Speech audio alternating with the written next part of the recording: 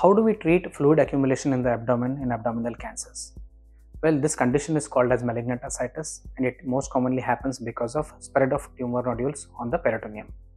The intent of treatment is very, very important. If it is a curative condition like stage 3 ovarian cancer, surgery forms a very important part and this surgery is called a cytoreductive surgery and it can be combined with HIPEC.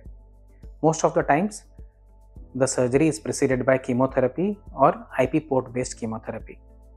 If at all we are looking at non curative treatment, the major form of treatment is given by palliative chemotherapy with repeated aspiration of this fluid accumulation under sonography guidance.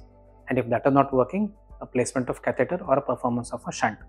In some cases we can also perform pipac which is spraying of chemotherapy drugs in microparticles to control this ascites you want to know more about this condition log into my youtube channel. Thank you